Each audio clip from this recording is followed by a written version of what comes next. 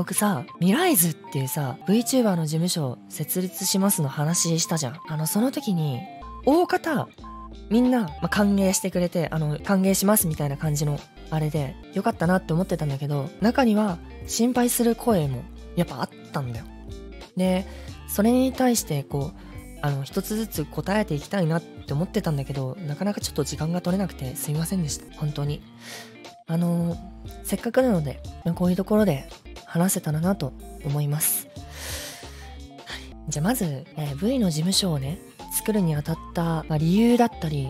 どういう気持ちで作ったのってところなんだけど、まず一つ目。僕は、この VTuber の事務所に限らず、何年ぐらい前かな？なんかマフマフがそこそこの、そこそこみんなに評価してもらえるようになったくらいかな。そのあたりから、歌い手のね、友達とかの、まあ、名前出したらさ、その子たちが、あの、かわいそうだから言わないけど、結構本当に有名な子たち、有名な子たちのバックアップは昔からしてて結構、もともとそういうことをしたいっていう気持ちがあったのね。なんでかっていうとさ、僕はさゼロからスタートして歌い手として活動してたじゃん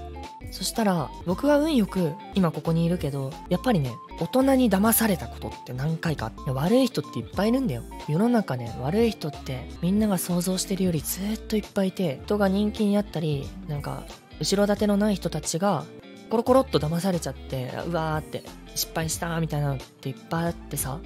歌い手界隈でもやっぱりそういうのって歌い手界隈もあればボカロ界隈もあったしもう無限にそういうことってあったんだよね昔で例えばどういうことがあるかって言ったら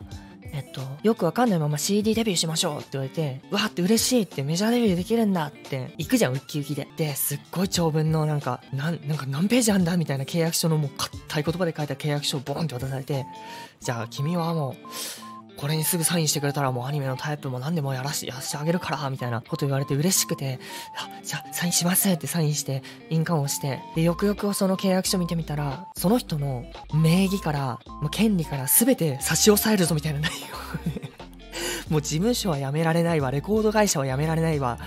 もう毎月ご飯食べられないぐらいのお金で精一杯のお給料で。ご飯食べてもう喉ガラガラになってポリープ作って歌歌えなくなってやめましたみたいな。そういうのとかってザラにあったの昔は。本当に。でそういうのってじゃあ歌い手会話だけかっていうとそうじゃない。昔から芸能とかエンタメっていうのはもうそういうのはもうザラにあったのね。最近本当にそれこそ歌い手のみんなの活躍とか YouTuber のみんなの活躍とかそういうインターネットで自由をしてる人たちの活躍のおかげでかなりあのどこの界隈もマイルドになってきたの契約が。でもそれでもやっぱりしんどい思いをしてる人っていうのがいっぱいいてで僕は昔からその自分がある程度のその活動をしてね。したらもう一つのこととして人のバックアップは絶対にやりたいと思ってただからねこういうその今回のその事務所設立ってなったのとかはある種その僕がずっとやりたいなって思ってたようなことの一つでもあるからだからできたら応援してくれると嬉しい。